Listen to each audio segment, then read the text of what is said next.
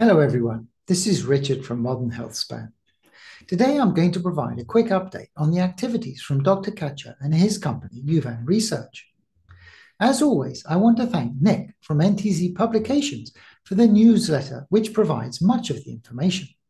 You can find a link to sign up for this in the description. This is the update from the original lifespan study. A very quick review, as we have covered this in detail elsewhere. The study started in February 2021 when the rats were 25 months old, which is middle age for a rat. There were 16 females, eight in each group of treatment and control. One of the treated rats is still alive, which makes her around 44 months old. This is quite old for a Sprague Dawley rat, which generally will live between 24 and 36 months. In human equivalent, it is about 110 years. This is a rat she is called Sima, and here she is looking around her box. A few things. The last E5 dose was six months ago, so it does seem that the effect lasts for a while. Seema still has her eyesight, has no skin cankers or bald spots on her coat, and has good motor function.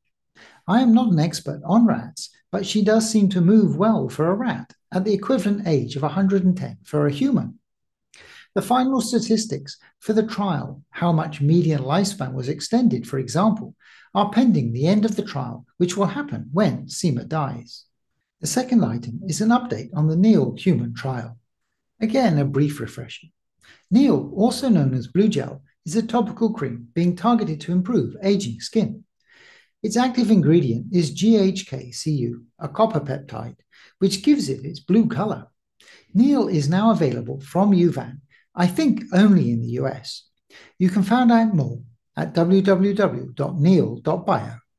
NEEL has been undergoing a human trial, and the preliminary results have been released. The trial had 20 participants aged between 65 and 85 and lasted three months. The intervention was to apply NEEL on the face three times a day for the first week and twice a day from then on they saw an increase in 27 to 30% in levels of collagen in the skin. Collagen makes up 70% of the dry weight of the skin in young people and is responsible for the strength and elasticity. So it's great to see this increase. They used high resolution dermal ultrasound scans to look at the levels of collagen. These images are from the same person, taken before and after the trial. The lighter areas show where more collagen is, in this case, the increase was about 57%. This chart is showing the percentage increase of collagen for each of the individuals during the three-month trial period. There is quite a wide variance, but as Akshay says, this could be due to compliance or the gender or ethnic differences. Yuvan is also working on two other trials. One of these is a human trial for E5 as a topical ointment which was expected to start late this year. The other is the second mixed sex lifespan study, which was started in June 2022. No update on these at this time. That's all I have at the moment. I wish you all well, and I will speak to you again soon.